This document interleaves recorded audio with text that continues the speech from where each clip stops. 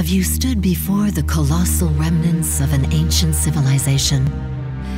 Then you may understand how the pilgrims regard the endless. Awe, respect, fear, and obsessive curiosity. Something in those ruins touched a deeper chord than science can. And as well as explorers and scientists, they are now tattooed mystics. They cross the stars to find more systems, more ruins, to find Tor, homeworld of the endless.